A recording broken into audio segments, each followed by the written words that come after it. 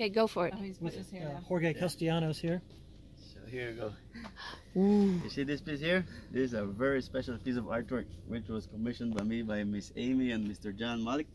And it's um, been more than a pleasure. Makes me so happy to make something like this happen because they just told me a story and I had to make this happen for them. And there's, before I explained to you when they got here, Mr. John told me about how they were traveling and they spent six weeks at Ixcacao Farm down in, in Punta Gorda.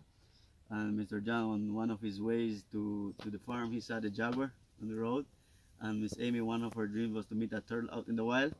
And they've been traveling the world, but it's hard to meet a turtle in the wild. And her dream came true here in Belize, in the Barrier Reef. And not just that of the Barrier Reef, but I have to make sure that everything represented here on one piece of stone. And here is the piece that I did for them. Well, they came to to to learn the trade or how to harvest and how to make chocolate from the cacao. So here on the middle is the cacao goddess. We have the cacao goddess here in the middle, and you can see the cacao pods all around it. And now here is the jaguar represented on the stone that Mr. John saw while he was going. And if you see the story of the Mayas, when the sun goes down, it turns itself into a jaguar to battle the lords of the underworld. So the jaguar itself also is the moon goddess, which is the moon here down. You see, it turns itself into the moon. This is the nose, the mouth, and here, uh, the earpiece, which is the ears of the moon, is Mr. John's birthday, which is Mol in Maya. That's his birthday month, as the sign here, which is identifying him with the animal, which is like his nawal or his spirit animal, as you call it. And then on top here, this is the turtle represented as Miss Amy. And here she's meeting the turtle out in the wild. And the turtle she's being met is on the barrier reef, which you see the fishes and the coral here. Oh, wow. And I did Miss Miss Amy's birthday that is touching both fins of the turtle.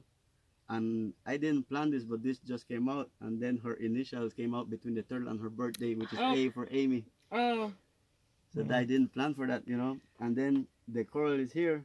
And then Mr. John sent me a story which he wrote about Miss Amy when she met the turtle in the sea.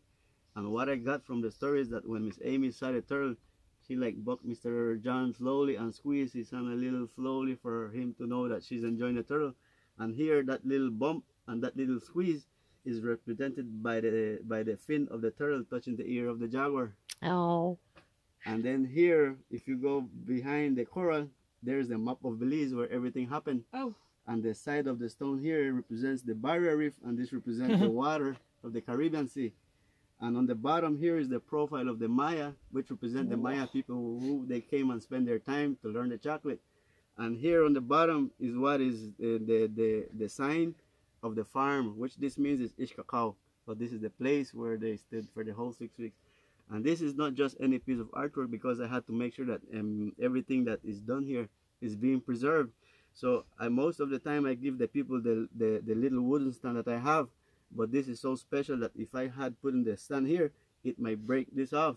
So I have to take care of it. So I made sure that I even went down to the river for a whole day trying to find the exact stand because this is a unique unique carving. You have to have a unique stand for it.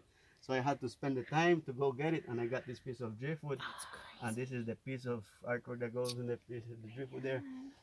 And then these pieces of obsidian that you see that the cacao goddess has and the profile of the Maya have, those are pieces of obsidian that I found laying right here above in this Mayan area around here.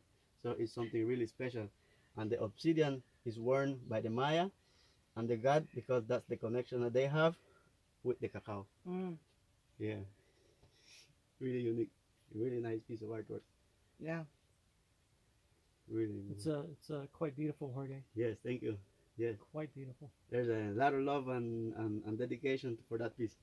A lot, yeah.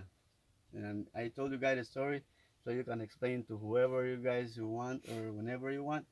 And this will be part of your family for generations to come. Yeah, because it's it's carved just like the Mayas did it. It's in stone. So Yeah. it's, it's, it's Carved it's, in stone. Yeah, it's carved in stone. Yeah. Oh. It's carved. It's not just etched in stone. Everything is carved. There's nothing right there. Everything is carved.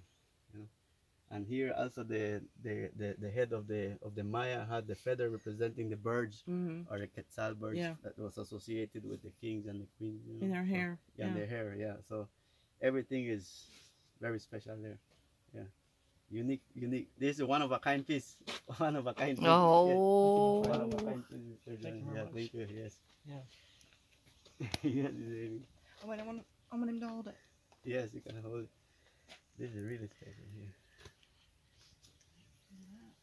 Wait, you get a picture of me. Yeah. Not a video. Okay, hold on.